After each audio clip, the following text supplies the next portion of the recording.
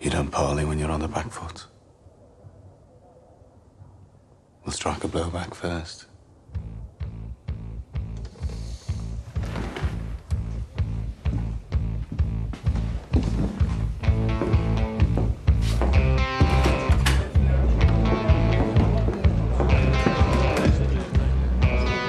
Fee, lad, what are you doing? We're having a fire. Turbo for your picture of the king. What? Bring it to Watery Lane. Northfield, lad. All right, it's good. Fritz, you're cooking the interest, man. come on, Fee, keep up. You right through, come on. Come on,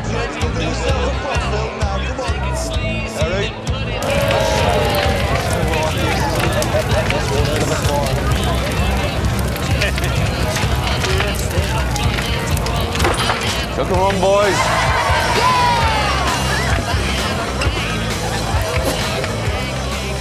Liar to God, you know what you're doing.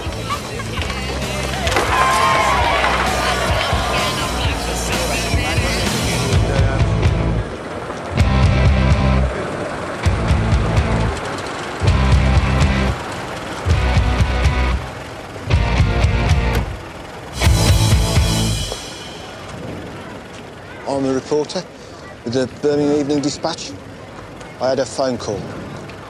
Someone called Thomas Shelby. Come with me.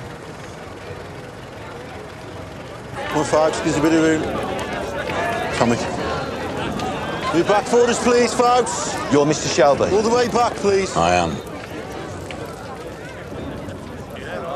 You said I would be protected. You're protected. What's going on? There are some things I want you to write down. Now, first of all, it's not the people around here that is loyal to the king. It's the officers. You see, we don't want our beloved king looking down and seeing the things that have been done to us.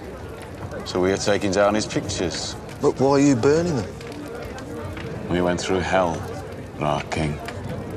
Walked through the flames of war, write all this down.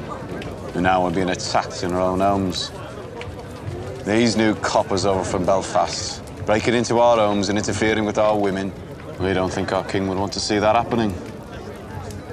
So we are lighting fires to raise the alarm. May I ask you, in what capacity do you speak?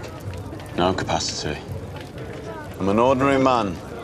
I won gallantry medals at the Somme.